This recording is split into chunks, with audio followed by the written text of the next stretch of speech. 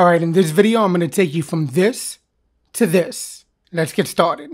What's up everybody, welcome back to another video. Today we're going to be talking about how to use NPM overrides. Now the reason why you're going to want to do this is because you'll be able to patch a dependency with a known security issue. You can replace an existing dependency with a fork, or you can make sure that the same package version is used everywhere. Alright, so let's take a look at what happens here. I'm going to be using my DevWP WordPress development training theme, but this example will demonstrate how to use NPM overrides when you run into vulnerabilities. So I'm using VS Code and I tested this on Windows and macOS. I'm going to open up the terminal since I already have a package.json file, I could just type out npm install and then hit enter or return. And after some time, you'll see what it installs. Alright, so that took a bit of time. But if we look over here, we see we have 47 vulnerabilities, 41 are moderate, and 6 are high. You could always type out npm audit to get some information about what the issues are and it'll give you a rundown of what these vulnerabilities are. And if you want to fix it, you can type out npm audit fix, or you can type out npm audit fix dash dash force. Now, sometimes this can cause a breaking change. So the first thing I want to do is I recommend you make a backup of your project. You can do it by just copying the entire folder. But in this case, I do have a script for that.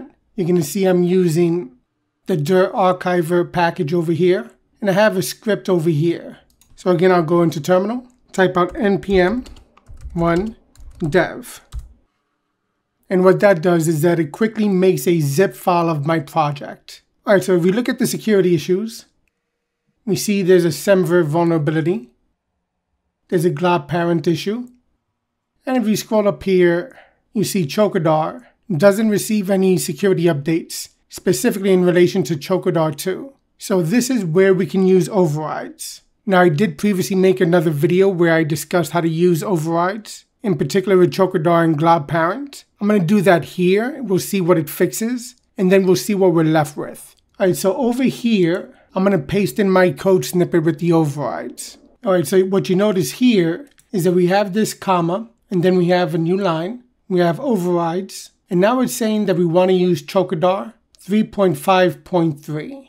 And we also want to use glob parent 6.0.2. And then we leave out the trailing comma over here. But notice how we have a comma here after the closing of our curly braces.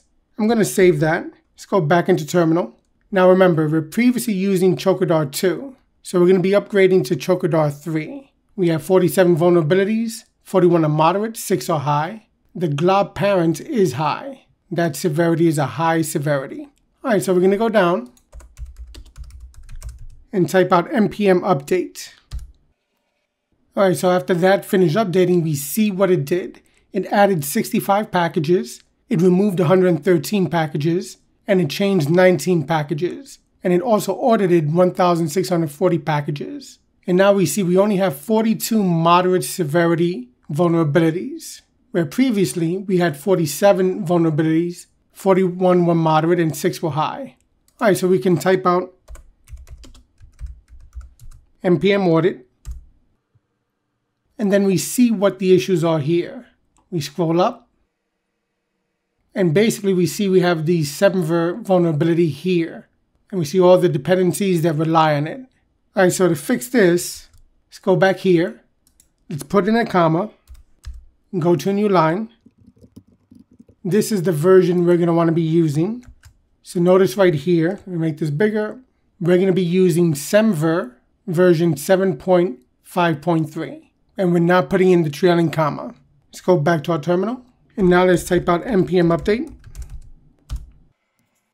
And after that's finished running, you see it removed seven packages and it audited 1,633 packages. And we see we have zero vulnerabilities. Type out npm audit and zero vulnerabilities. So we are good. This is how you could use NPM overrides in order to fix or patch any security issues that might exist in a dependency that may not have been updated.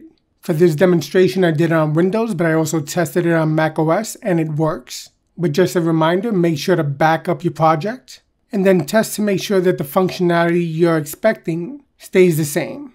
Again, for this video, I did use DevWP, which is my WordPress development training theme. If you want to learn more about developing WordPress themes, check out that video. And make sure to subscribe to the channel because I'll be releasing another video that talks about a major issue with NPM. And I'll show you what you can do about it. Alright, so hopefully you enjoyed this video. If you did, give it a thumbs up. Don't forget to subscribe, hit that notification icon. If you have any thoughts, questions, or ideas, leave them down below. And as always, thanks for watching and happy coding.